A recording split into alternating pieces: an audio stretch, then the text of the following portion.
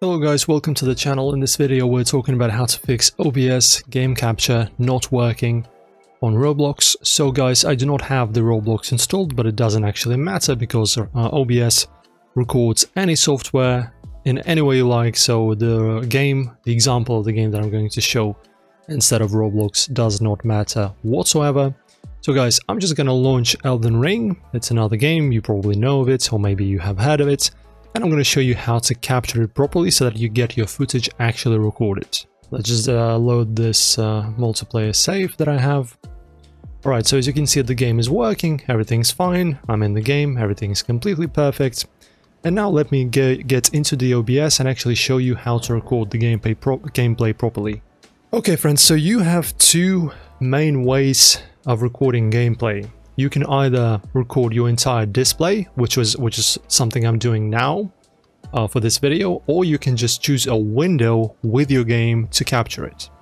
So if you want to do the full display capture, it's fine, but make sure if you're, for, for example, streaming or recording, uh, anything you do in your system, including your private things, maybe you're chatting with someone or something, so any sensitive info is going to be also recorded on the video if you're capturing the entire screen. So that's the downside. If you want to exclude that, you just go plus, then you go window capture, or you can go game capture. Let's go game cap capture in here. And to name your game capture Roblox. Uh, Roblox. Okay.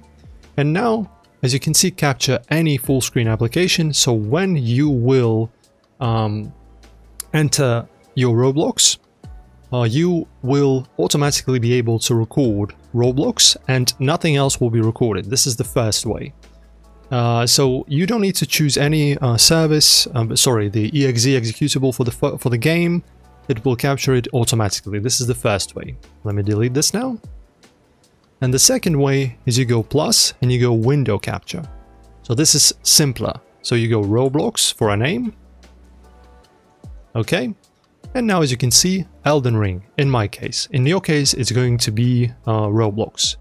You just press OK, you create this new, new profile, I'm gonna just go and discard, because I don't need this, and now you can and now you can just go back to your game, press your um, uh, hotkey, whichever you have set, and easily record your gameplay in Roblox like this with no issues whatsoever. Everything's gonna be working perfectly fine.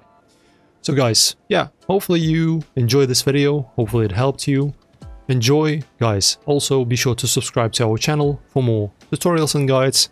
See you in the next one, my friends.